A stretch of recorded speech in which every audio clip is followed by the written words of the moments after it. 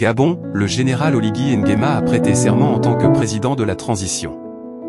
Êtes-vous prêt à plonger dans un monde d'informations captivantes et exclusives? Pour ne rien manquer, abonnez-vous dès maintenant et activez la cloche de notification. Rejoignez notre communauté passionnée où chaque jour vous découvrirez des récits fascinants qui élargiront votre horizon. Soyez le premier à savoir, à comprendre et à partager des histoires qui comptent. Rejoignez notre communauté d'auditeurs engagés et ensemble, explorons le pouvoir de l'information si c'est fait on commence. Au cœur de l'Afrique centrale, une nation autrefois dirigée d'une main de F. Gabon, le général Oligui Nguema a prêté serment en tant que président de la transitionnée par la famille Bongo fait face à un tournant historique.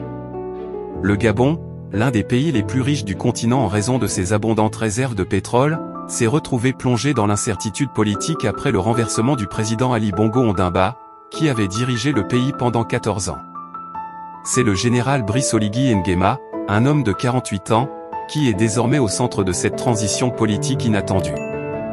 Il a prêté serment en tant que président d'une transition sans définir une durée précise, mais avec un engagement clair, établir des institutions plus démocratiques et organisateurs des élections libres pour le peuple gabonais.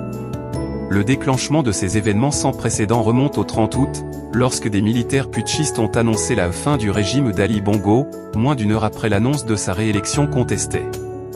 Les putschistes, alléguant une élection truquée, ont proclamé le général Oligui à la tête d'un comité pour la transition et la restauration des institutions, CTRI. Dans un cadre solennel, vêtu de son uniforme de la garde républicaine, l'unité d'élite de l'armée, le général Oligui a juré devant Dieu et le peuple gabonais de préserver le régime républicain et les acquis de la démocratie. Il a également promis d'amnistier les prisonniers d'opinion et de garantir des élections transparentes à l'issue de la transition. Ces événements ont marqué la fin d'une ère. La famille Bongo avait dirigé le Gabon pendant plus de 55 ans, depuis l'indépendance du pays. Omar Bongo Ondimba, le père d'Ali Bongo, gouvernait pendant plus de 41 ans et était un acteur clé du système de la France-Afrique, caractérisé par des relations étroites entre la France et ses anciennes colonies africaines. Le général Oligui Nguema, cependant, a rapidement fait savoir qu'il était déterminé à briser ce modèle. Après le coup d'État, il a entamé des discussions avec diverses parties impliquant de la nation gabonaise, des clergés aux chefs d'entreprise en passant par les syndicats et la société civile. Il a pris des notes attentivement, écoute les préoccupations de chacun et promet de lutter contre la corruption et la mauvaise gouvernance. Mais la transition ne sera pas précipitée. Avant d'organiser les élections, le général Oligui envisage de faire adopter une nouvelle constitution par référendum, visant à créer des institutions plus démocratiques et respectueuses des droits humains.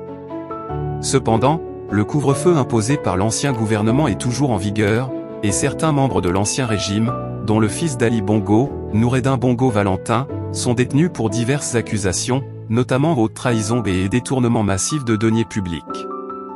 Le Gabon est à un tournant de son histoire, oscillant entre une histoire politique familiale et un avenir incertain. La promesse du général Oligui Nguema de restaurer la démocratie et de lutter contre la corruption est porteuse d'espoir pour de nombreux Gabonais, mais le chemin vers la stabilité politique et économique reste semé d'embûches.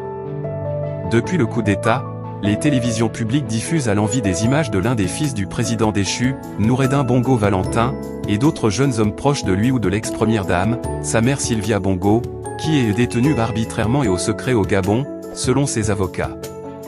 Ils sont tous d'anciens ou responsables de la présidence, montrés devant des malles, cartons et sacs débordant de liasses de billets de banque saisis à leur domicile, selon les nouvelles autorités.